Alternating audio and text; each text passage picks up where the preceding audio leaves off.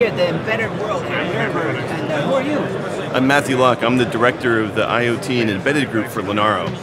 So this is LITE, LITE, or for short. the LITE group, and Yes. lots of companies. Uh, it is a very active area at Nuremberg. Very active. We have uh, 10 members currently, including NXP, whose booth we're at today. And uh, uh, everybody's in a rush to get IoT work with security and everything. Yes, one of the biggest problems in connecting all these devices to the cloud or the internet is making sure that they're secure so no one can hack them and get it, your personal data or cause problems with, uh, with the device. And so one of the platforms that are being worked on right now is a Zephyr, right? And uh, maybe you can uh, introduce. Yeah, so Zephyr is a real-time operating system hosted by the Linux Foundation, of which Linaro is a member, as well as NXP. And Maureen here is one of the maintainers of the ARM subsystem of Zephyr. Hello. So who are you? Hi, uh, my name is Maureen Helm. I'm a software developer at NXP. And uh, you are the main, uh, maintainer of the Zephyr Yes, area. yes, I'm one one of the maintainers working on the Zephyr project. Um, we're, you know, focusing on support for NXP devices. So there's a lot of activity with Zephyr right now. Uh, Yeah, absolutely. Um, we've seen a lot of activity in the community, adding support for new SoCs, new boards, new devices. And what is special about Zephyr? Is that the right way to do security, or So I think what's special about Zephyr is the open source development model. Um, I think the fact that anybody in the community can contribute code and, and take a look at patches, review patches, comment on them. Um, you know, I, I think that's something that's really special about Zephyr.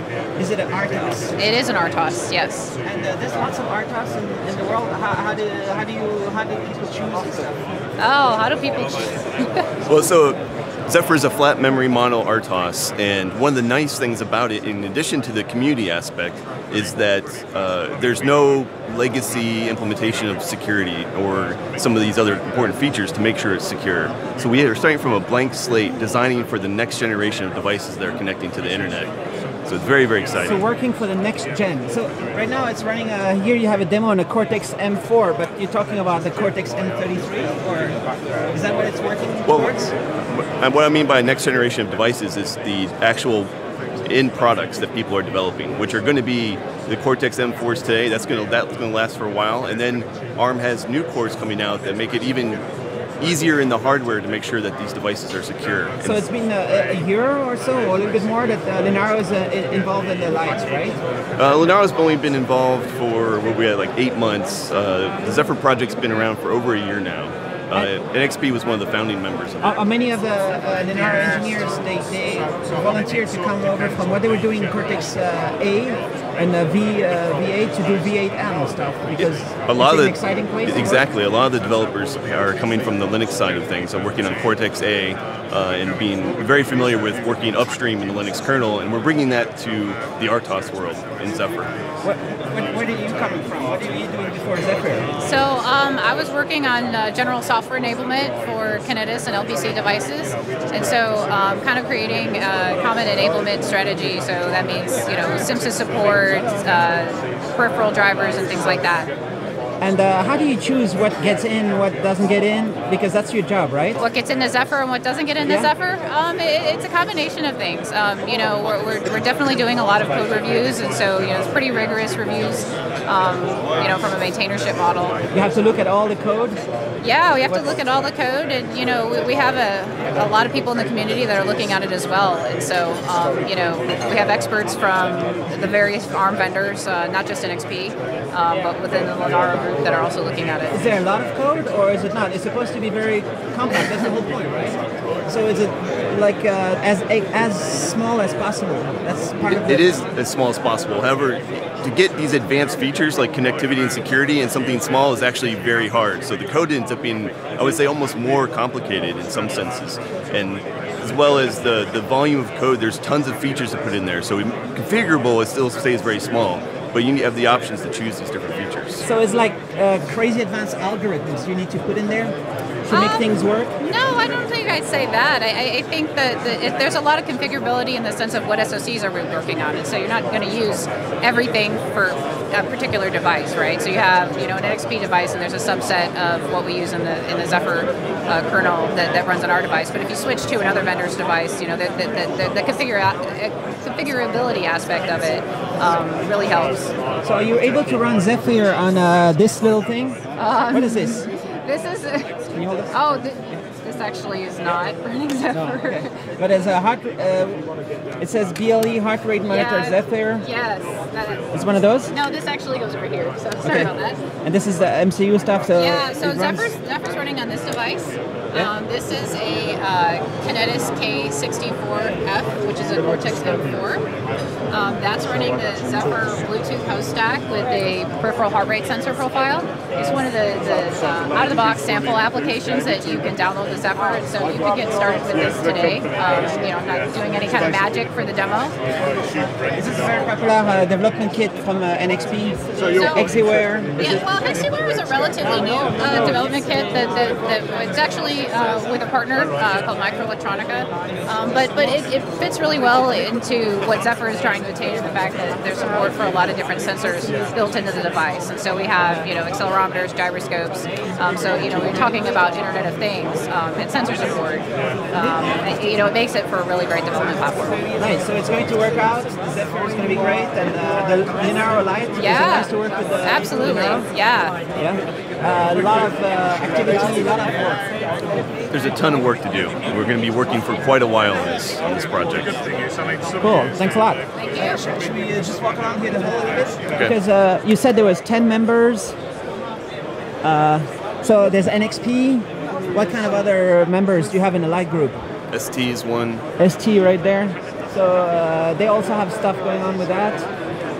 No Pot- potentially, yeah. Yeah. And uh, um, so the embedded world is what you're working in.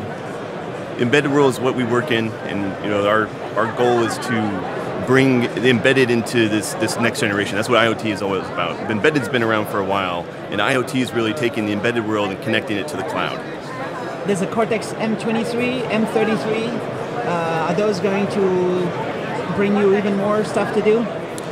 Yes, there's uh, some very advanced features, especially related to how you manage um, memory, so you can isolate tasks from each other. Uh, it- what we're working on is the an idea of bringing the container concept from Linux to the microcontrollers, and we're calling it microcontainers.